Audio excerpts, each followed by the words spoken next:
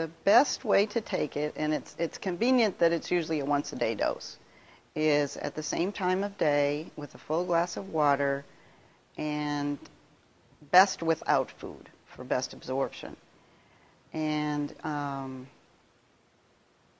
in terms of things to avoid taking it with, there are certain minerals that can, what we call complex or chelate with levofloxacin.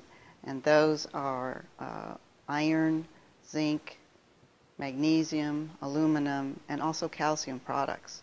And if you take the levofloxacin with uh, products or foods that contain high amounts of these, what can happen is you can decrease the amount of levofloxacin absorbed by like 20 to 40 percent.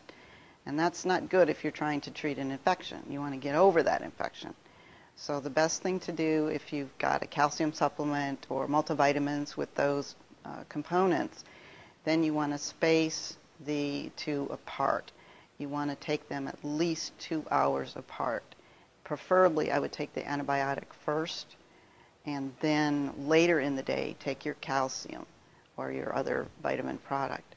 There's also some over-the-counter medicines like Tums, Rolaids, Mylanta, Maalox, and some of those have these uh, aluminum or magnesium and these ions, again, that can complex with the antibiotic.